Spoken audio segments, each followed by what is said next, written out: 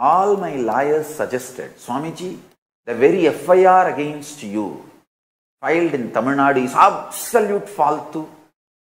Never ever after the independence of India, even one FIR is filed, rape charge without any victim. The whole, after independence, some three and a half lakhs. The rape charges have been filed in India from 1947 to 2010. My the FIR they filed on me is the only FIR where there is no victim, or even the changed name of the victim. Sometimes they change the name of the victim to keep the privacy. Even that doesn't exist. The FIR they filed on me and they arrested me. All my lawyers suggested, let us file for malicious prosecution for this arrest. I said, what are you trying to do? Yes. Even if we file, by the time we get justice, if at all, it will be 25 years and either they would have killed me or I will be wasting my life just going after them. That's all. Nothing else.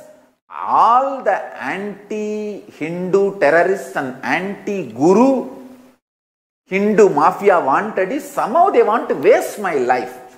That they are very sure that I should not revive Hinduism. That is their purpose. If I get into the fight with them, I will fulfill I'll be fulfilling their purpose. No. Non-violence and no reaction is the best strategy at this time. I tell you. I saved so much of my inner space, energy, intelligence, focus, everything Paramashiva gave me and go on doing my work and delivering what I need to deliver to the world just because of my ability to forgive and not to bother about the injustice done to me. Ahimsa paramo dharmaha.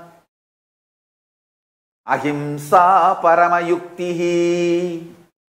Ahimsa paramabhuktihi अहिंसा परमभक्तिः अहिंसा परममुक्तिः